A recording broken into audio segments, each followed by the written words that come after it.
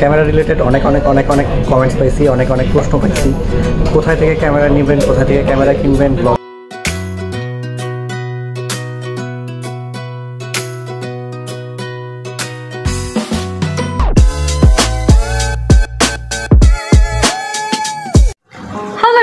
আসসালামু আলাইকুম welcome back to our new video দেখো, কালকে যে মাছগুলো আনছিল, এই যে কুটুকুটু মাছগুলা।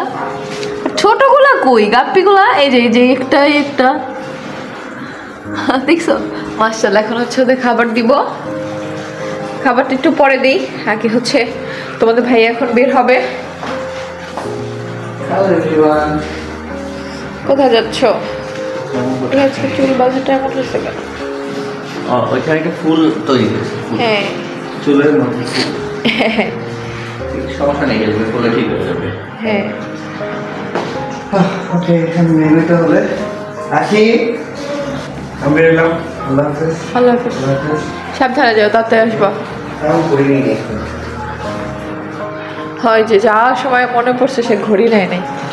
এই খালা হচ্ছে সব মাছগুলো কাটতেছে। ছোট ছোট মাছ এখনও বাকি আছে অনেকগুলো কাটা। যাও সাবধানে যাও। হ্যাঁ। আল্লাহ হাফিজ। হ্যাঁ ওষুধটা খেয়ে নিও মনে করে। আকি নাস্তা করে ওষুধ খেয়ে নিও। আচ্ছা। তুমি সাবধানে যাও। হ্যালো এভরিওয়ান অনেকেই জিজ্ঞেস করছেন যে ক্যামেরা রিলেটেড অনেক অনেক অনেক অনেক কমেন্টস পাইছি অনেক অনেক প্রশ্ন পাইছি। কোথায় থেকে ক্যামেরা নেবেন কোথা থেকে ক্যামেরা কিনবেন ব্লগিংয়ের জন্য কোন ক্যামেরা শুরু করবেন না কীভাবে কী? তো আজকে চলে আসছি বসুন্ধরা সিটি কমপ্লেক্সে আপনাদের এই কোশ্চেনগুলোর জন্য আমি একটা অ্যান্সারের জন্য ছোট্ট একটা ভিডিও বানিয়ে দিচ্ছি। চলে আসছি এখন হচ্ছে ডিজিআই, পিছনে লেখা দেখতেছেন। মূলত আমরা আছি বসুন্ধরা সিটিতে। বসুন্ধরা সিটির ঢাকা ক্যামেরা শপ। তো একদমই গ্রাউন্ড ফ্লোরে বসুন্ধরা সিটির গ্রাউন্ড ফ্লোরে shop number one block B Dhaka camera আর হচ্ছে ড্রোন স্কোয়ার দুইটা কোম্পানি একসাথে এই যে ডিজাইন লোগো দেখতেছেন। তো এইখানে আসলে আমার কথা বললে অবশ্যই আপনারা খুবই রিজনেবল প্রাইসের ভিতরে পেয়ে যাবেন। আপনাদের যাবতীয় যা কিছু লাগে সেটা আমি দেখাচ্ছি, কী কী পাবেন। এই হচ্ছে মূলত দোকান। এইখানে ডিজাইয়ের যত প্রকার ড্রোন দেখতে পাচ্ছেন, সব ড্রোন এখানে পেয়ে যাবেন। আর এই পাশে আমাদের ক্যামেরা অ্যাক্সেসরিজ টাইপ যেটা হচ্ছে এই দিকে বিভিন্ন ক্যামেরা আছে। Plus second hand camera second hand lens সব কিছু এখানে আছে। আর দোকানে এসে আপনারা দেখা করবেন এই যে আমার প্রাণপ্রিয় ভাই ওর সাথে। ও কিন্তু আমার এলাকার ভাই। ওর সাথে দেখা করবেন আর অবশ্যই আমার কথা বললে অবশ্যই ডিসকাউন্ট পেয়ে যাবেন। আর দোকানের নাম আর লোকেশনটা একবার বলে দে। দোকানের নাম হলো ঢাকা ক্যামেরা লোকেশন হচ্ছে block B level one block B shop number one আচ্ছা আমরা দেখাই দিচ্ছি আর পাশাপাশি বললাম যে যাবতীয় সেকেন্ড হ্যান্ড হোক আর ফার্স্ট হ্যান্ড হোক ড্রোনের সব কিছু ফার্স্ট হ্যান্ড ড্রোন কোনো সেকেন্ড হ্যান্ড পাবেন না। আর যাবতীয় যা কিছু সব সেকেন্ড হ্যান্ড এবং ফার্স্ট হ্যান্ড সব কিছুর মধ্যেই পাবেন। এইটা হচ্ছে মূলত অ্যাড্রেস আমি আবারও দিয়ে দিলাম।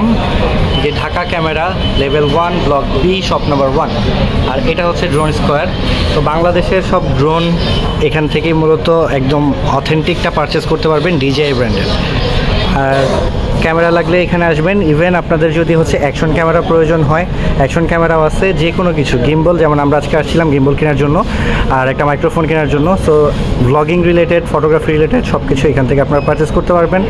আর ও তো আছেই, ওরা এখানে বললেই ডিসকাউন্টও পেয়ে যাবে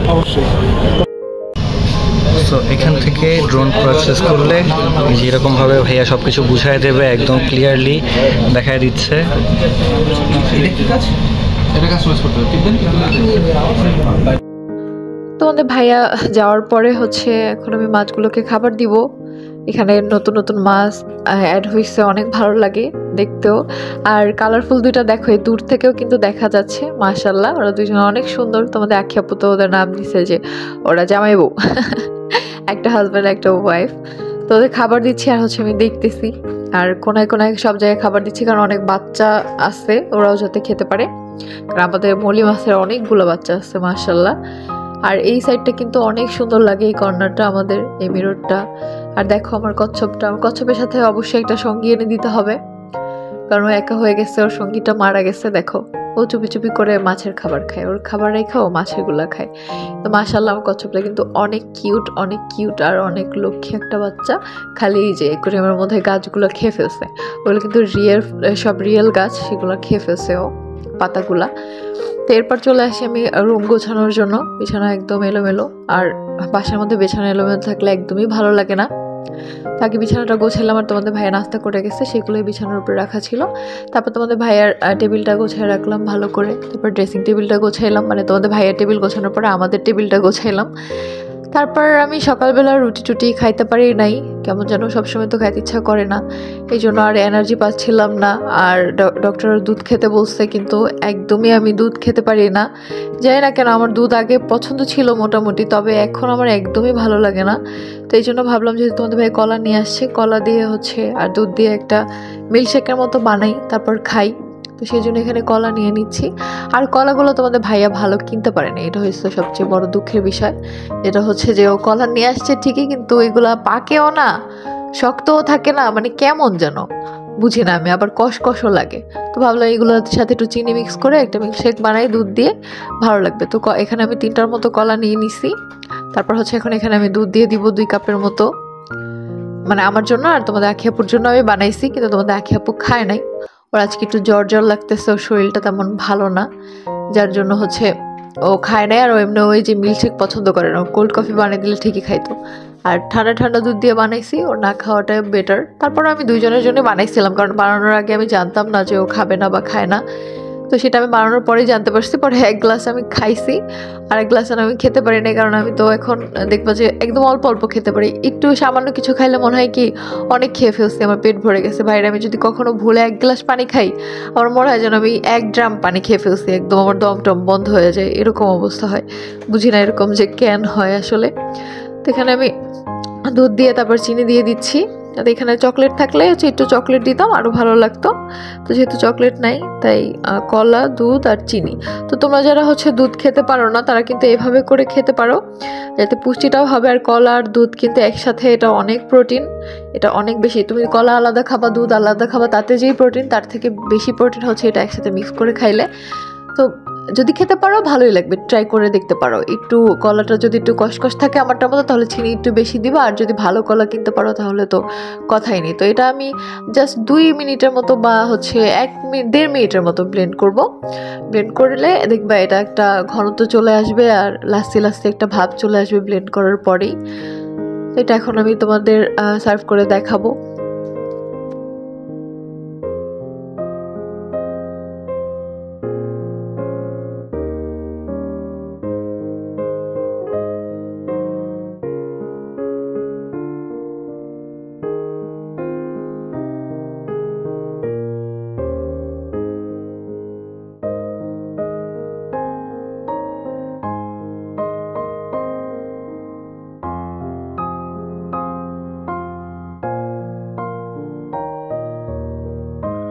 হয়ে গেছে, এখন জাস্ট এগুলো আমি সার্ভ করে নিব। দুইটা গ্লাস নিয়ে নিছি, দেখো আমি কিন্তু তখন আমি এই যে ঢালতে ঢালতে আমি বলতেছি একই নে, তোর একটা, আমার একটা। তখনও বলতেছে যে, আমি তো খাব না। তখন আমি বলি, না, খাইলে কি? আমি তো বানাই ফেলছি, দুই গ্লাস আমি তো দুই গ্লাস খাইতে পারব না। ওই দুজনের জন্য আর কলার পরিমাণটা একটু বেশি হয়ে গেছিল। তিনটা না দিয়ে দুইটা দিলে বেশি ভালো হতো তাহলে আর একটু ঘন কম হইতো, এটা একটু বেশি ঘন হয়েছে তো মজা ছিল মাসাল্লাহ শুধু দুধ খাওয়ার চেয়ে এইভাবে খেলে একটু ফ্লেভারফুল ভালো লাগে। তো এটা খাওয়ার পরে একটু এনার্জি আসছে, তারপর তোমাদের আখি আপুর সাথে একটু রান্নাঘরের কাজে হেল্প করতেছি। ও রান্নাঘর আজকে একদম ওলট পালট করছে। আমি ওটা বলছিলাম যে এইভাবে ভালো লাগতেছে না। রান্নাঘরে ওই সাইডে যে একটা র্যাক করে দাঁড়া করে রাখছিল ওইটা নামাই দিছি, নামাই ওই সাইডে মশলা রাখছি। কারণ চুলা ওই পাশে আর মশলা এই পাশে। রান্না করতে গেলে দৌড়াতে হয় শুধু। এই জন্য এগুলো এলোমেলো করে রাখলাম আর কি, ঠিক করে রাখলাম এলোমেলোগুলা। তারপর ডাইনিং টেবিলের উপরে এক গাদা জিনিস ছিল, সেগুলো গোছাইলাম। ডাইনিং টেবিলটা একটু মুছলাম সব কিছু ঠিকঠাক করে রাখলাম। এখানে একটু অন্ধকার অন্ধকার লাইট ছিল না। তারপর হচ্ছে ভাবলাম সবার জন্য একটু ইন্দোনেশিয়ান স্টাইলে একটা ফিশ ফ্রাই করি সবার জন্য। এটা আমার অনেক ফেভারেট অনেক ফেভারেট এটার সাথে যে সসটা বানাই, এটা শুধু আমার না, আমার বাসা সবার পছন্দ। তো এখানে আমি মাছগুলো কেটে মাছগুলো তো খালা কেটে দিয়ে গেছিল, তোমরা দেখছ।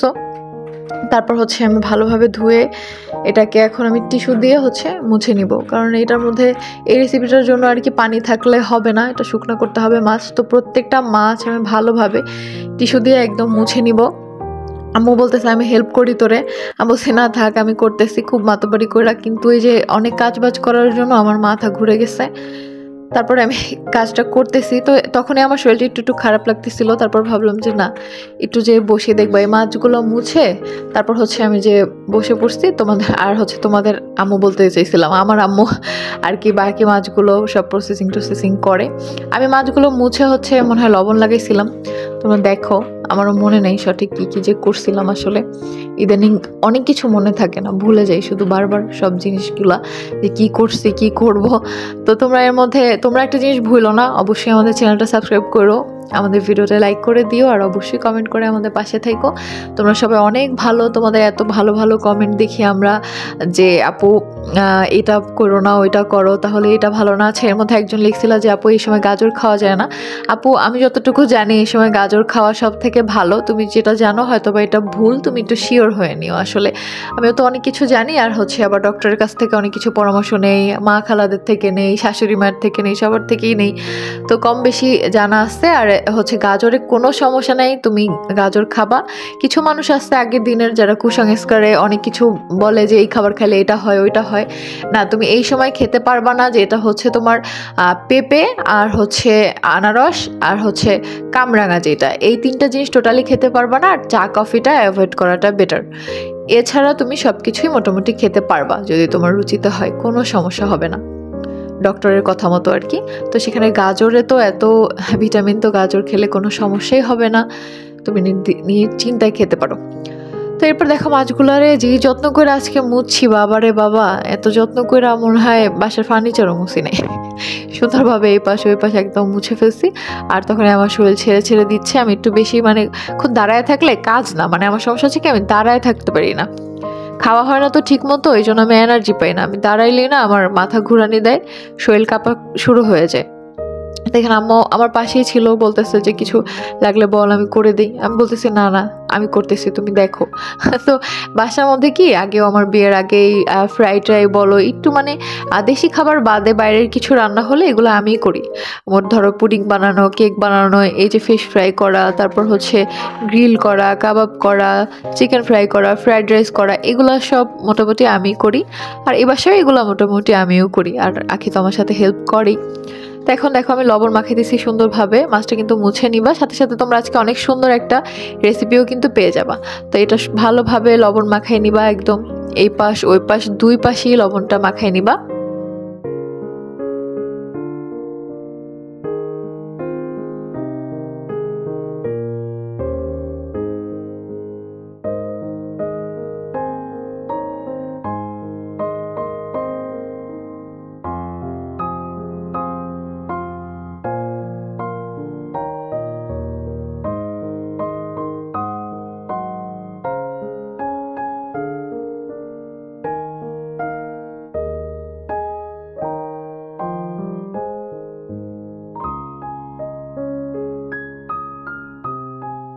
লবণ মাখানোর পরে মরিচটাও তো আমি মাখাইছি, দেখো আমি ভুলে গেছিলাম যে আমি লবণ মাখানোর পরে চলে গেছি না, মরিচটাও আমি মাখাইছি। তো এখানে আমি সামান্য দিচ্ছি কিন্তু মরিচের গুঁড়ো বেশি দিচ্ছি না, কারণ আমার ছোটো ভাই যেহেতু খাবে, আর ও ঝাল খেতে পারে না বেশি। তো ও হচ্ছে আমার মতো, আমিও বেশি ঝাল খেতে পারি না, ও বেশি ঝাল খেতে পারে না, কিন্তু সামি হচ্ছে ঝাল খেতে পারে। তো এখানে আমি ভালোভাবে দেখো সব জায়গায় একদম মাখায় নিচ্ছি যাতে সুন্দরভাবে মরিচের গুঁড়োটা, লবণটা সব জায়গায় ঢুকে। এখানে তোমার এক্সট্রা কোনো মশলা লাগবে না, এটা মনে হয় পৃথিবীর সব থেকে ঝামেলাহীন একটা রেসিপি কিন্তু এত মজা যেটা বলার মতো না। তো এটা দেখো, আমি ভালোভাবে এখন এই পাশে দিছি, তারপরে এই পাশে মরিচগুলো লাগাবো। উল্টায় নিচ্ছি সব মাছগুলো। মনে হচ্ছে কি আমি ওদের মেকআপ করাচ্ছি, ওদের বিয়ে বা হলুদ কিছু একটা, উল্টায় পাল্টায় হলুদ মাখাচ্ছি, সেরকম। এখানে কিন্তু হলুদের গুঁড়া ভুলে ইউজ করো না, কারণ হলুদের গন্ধটা ভালো লাগবে না। চাইনিজ কোনো খাবারে যদি হলুদ ইউজ করে, সেই ব্যাপারটা না আমারই কেমন ভালো লাগে না। আসলে হলুদটা দেশি খাবারের সাথেই বেশি মানায় এখানে শুধু মরিচের গুঁড়া আর হচ্ছে লবণ দিবা তোমরা। এখন এই পাশে আমি সুন্দরভাবে এটা মাখায় নিচ্ছি, আর দেখো কত আস্তে আস্তে যত্ন করে করে আমি এই কাজটা করতেছি। আমার না সব কাজ আস্তে আস্তে ধৈর্য ধরে, যত্ন করে করতেই ভালো লাগে। একদম গোছায় মনোযোগ দিয়া। তাড়াহুড়ার কোনো কাজ না ভালো হয় না, আর তাড়াহুড়ার কাজ ভালো লাগে না। তারপরেও তাড়াতাড়ি হয়ে যায়। একদম যে অনেক দেরি হয় সেটা না। আমি একদম ধরো পাঁচ মিনিটের মধ্যে পুরো বাসা গোছায় চলে আসতে পারি। এরকম। এখন পারব না যদিও এটা সুস্থ থাকাকালীন। কারণ এখন আমি যদি পুরো বাসা একবারে গোছাইতে যাই, আমি অসুস্থ হয়ে মনে হয় পড়েই যাব। তো তারপর হচ্ছে আমি গেছি। তো বাকি কাজ হচ্ছে আম্মু করতেছে এই যে দেখো, আমার মা জননীর হাত। তো আম্মু, এটা হচ্ছে আটার সাথে মাখাচ্ছে। এটা তোমরা যদি কর্নফ্লাওয়ারের সাথে মাখাও তাহলে বেশি ক্রিস্পি হবে। চালের গুঁড়ার সাথে মাখাইতে পারো তাহলেও ক্রিস্পি হবে। আমার বাসায় আটা ছিল, আমি আটার সাথে মাখাচ্ছি। ভাই, রান্না হয়েছে একটা আর্ট আর তুমি হয়েছো আর্টিস্ট যখন তুমি রান্না করবা। তো তোমার মন মর্জির মতো তুমি রান্না করবা। জাস্ট ফলো করবা কোনো রেসিপি তারপর সেরকম অনুযায়ী নিজের মতো করে করবা। একদম ইউটিউবে যে দেখছি, এই এই মশলা দিছে, এগুলো লাগবেই ভাইরে ভাই। না, কখনোই না। তোমার বাসায় সেগুলো নাই। তার মানে কি সেটা তোমার আনায়া তারপর করতে হবে? না, তোমার সেটা নাই, তুমি সেটার বিকল্প খোঁজো। এই যে আমি কর্নফ্লাওয়ার বদলে আমি এখানে আটা দিচ্ছি, অনেকে ময়দা দেয়। তো এটা দিয়েও কিন্তু মজা লাগছে মাসাল্লাহ অনেক মজা লাগছে। তো সেরকম, তোমরাও সাধ্যের মধ্যে সবসময় স্বাদ পূরণ করার চেষ্টা করবা। কখনো যদি তুমি কোনো রেসিপি একদম সম্পূর্ণ ফলো করতে চাও যে, না, আমার একদম সেম সেম এরকমই করতে হবে। দেখবা এত মশলা আনতে হবে, এত মশলা আনতে হবে, একটা আনতে পারবা তো একটা আনতে পারবা না। তারপর দেখবা যে, ওইটা আর বানায় খাওয়াই হবে না। তার থেকে যা আছে হাতের কাছে, তা দিয়েই সেটা পূরণ করো। একদম দেখবা ভালো লাগবে। মনের শান্তি বড় শান্তি ভাই, সেটাই হয়েছে বড় কথা। তো আম্মু দেখো, আমার মা তো আমার মতো যত্ন করে করে মাছগুলোকে হচ্ছে আটা মাখাচ্ছে, কত সুন্দর একদম সাদা করে দিচ্ছে। তো এক্সট্রাতে এক্সট্রা যে আটাটা সেটা কিন্তু অবশ্যই ঝেড়ে ফেলতে হবে। আগের মতো না, আমি ভয়েস ওভারও এখন এক নিঃশ্বাসে একদম দিতে পারি না। আমার নিঃশ্বাস নিয়ে নিয়ে তারপর দিতে হয়। কারণ আমার নাক টোটালি বন্ধ, তাই আর নিঃশ্বাস একদম ঘন হয়ে যায়। যদি আমি একটানা কথা বলতে থাকি, তাই সব কিছুতেই এখন একটু মানে ছেড়ে ছেড়ে করতে হয়। মানে একটু স্যাক্রিফাইস একটু সার দিতে হয়। মা হওয়া এত সোজা না আসলেই। প্রত্যেকটা মাই এক একটা যোদ্ধা। তোমরা যারা চেষ্টা, বলো না যে মা কি করছে, জন্মই দিছে, আর কি করছে? অনেকেই আমরা এই কথাটা আগের মাথায় বলি মা বাবাকে। আসলে মা বাবা যে আমাদের পৃথিবীর আলো দেখাইছে এত কষ্ট করে, সেটাই না আমাদের কাছে অনেক। তো এরপর ফ্রাই প্যানে হচ্ছে তেল দিয়ে তেলটা গরম হওয়ার পরে আম্মু মাছটা, আম্মুই ভাজতেছে, কারণ আমি এরপর হচ্ছে এই পাশে ডাল বসাই দিছি। কারণ তোমাদের ভাইয়া বাইরে থেকে এসে যাতে সাথে সাথে খেতে পারে, আর আজকে আমার ইচ্ছা হয়েছে যে ডালটা আমি নিজেই রান্না করব। কিন্তু ডালের ভিডিওটা নেওয়া হয় নাই, কারণ আমি এত টায়ার্ড হয়ে গেছিলাম, আর ভিডিও নিতে পারি নাই। আমি অনেক স্পেশাল করে আজকে একদম টমেটো দিয়ে তারপর ডালটা রান্না করছি। তো এদিকে দেখো মাছটা কিন্তু ভাজা হয়ে যাচ্ছে, এটা কিন্তু মিডিয়াম আছে হচ্ছে ভাজতে হবে, যাতে একদম পুড়ে না যায়, তাহলে একদম ক্রিস্পি হবে। তো এখন হচ্ছে আমি স্পেশাল যে সসটা, সেই সসটা বানাবো। এখানে লাগবে অনেক পরিমাণ কাঁচামরিচ। কাঁচামরিচটা দেখে ভয় পাইও না, এখানে যেহেতু লেবু অ্যাড করব, সেহেতু কোনো ভয়ই নেই, কারণ এই কাঁচামরিচের ঝালটা একদমই থাকে না। ট্রাস্ট মি আমি একদমই ঝাল খেতে পারি না, তার মধ্যে এই মরিচ তিন চারটা চাবায় খেলেও কিছু হয় না। আর লেবুটা দেওয়ার কারণে ঝালটা একদমই কমে যায়। তো আমি এখানে একদম থেতলে নিচ্ছি কাঁচামরিচ, কুচানো কাঁচামরিচগুলো থেতলে নিচ্ছি, কারণ বড় বড় থাকলে স্বাদটা বোঝা যায় না। তারপর এর মধ্যে আমি আস্তে আস্তে হচ্ছে কিছু উপকরণ অ্যাড করব। এখন এখান থেকে বলতে পারো তুমি যদি সয়া সস না থাকে, সেই ক্ষেত্রে তোমার টেস্টটা একটু নর্চার হবে বাট তাও তুমি খেতে পারবা যে হ্যাঁ শুধু টমেটো সস লেবু আর কাঁচামরিচ দিয়ে খাচ্ছ, সেটাও খেতে পারবা। তুমি কাঁচামরিচ নাই, তুমি শুকনো মরিচ দিয়ে খাবা, সেটাও তুমি খেতে পারবা। কোনো বাধা নেই। তো এখানে দেখো আমি কাঁচামরিচের মধ্যে এখন হচ্ছে মানে লেবু, এটা কিন্তু আমার লেবু, লেবুর মধ্যে আমি কাঁচামরিচগুলো দিয়ে দিব। আর এই লেবু আর কাঁচামরিচ একসাথে রাখা ছিল, যার জন্য লেবুর মধ্যে কিন্তু আগে মরিচের বিচিগুলো ভাসতেছে, দেখো। তো এখন আমি এটা ঢেলে নিচ্ছি আর এই বাটিতে আমি সসটা বানাবো। আর এই রান্নার মধ্যে এই সসটাই হচ্ছে মেইন এই সসটার জন্যই এত মজা লাগে। তো আমি সয়া সস আনায় নিছি হচ্ছে স্বামী, স্বামীকে দিয়ে, কারণ এটার মধ্যে না সয়া সসটা দিলে অনেক বেশি ভালো লাগে।